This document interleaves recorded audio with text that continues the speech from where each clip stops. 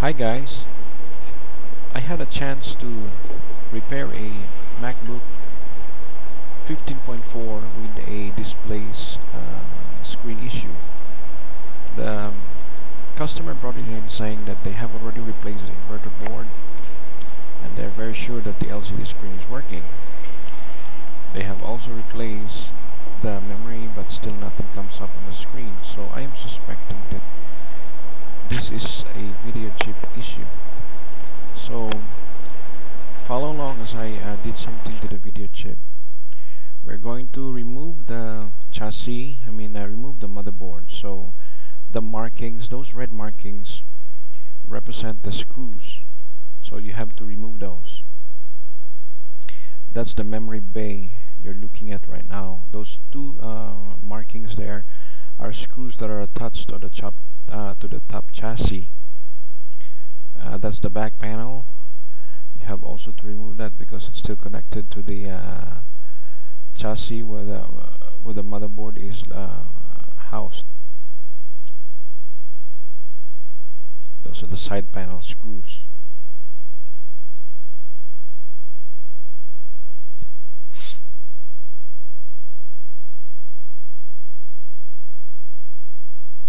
that's the battery bay. The it has uh, two tiny screws there. Also have to remove that.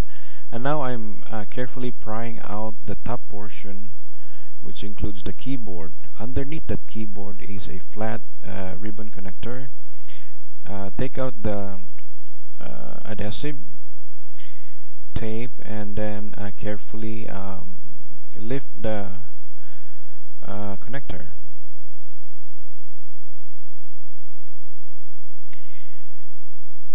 now our next objective is to remove all the screws uh, the anchor screws on the motherboard.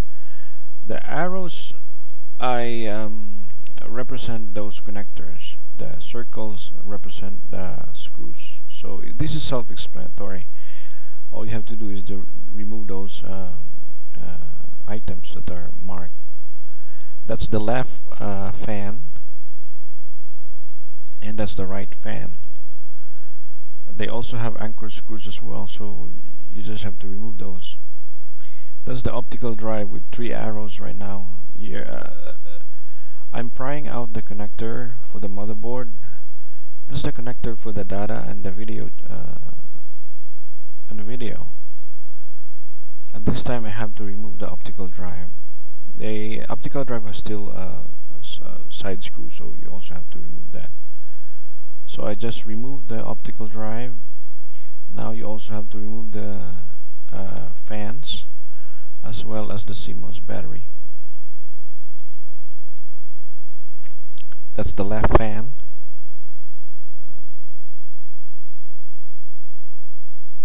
That connector is um, for the battery so you also have to remove that.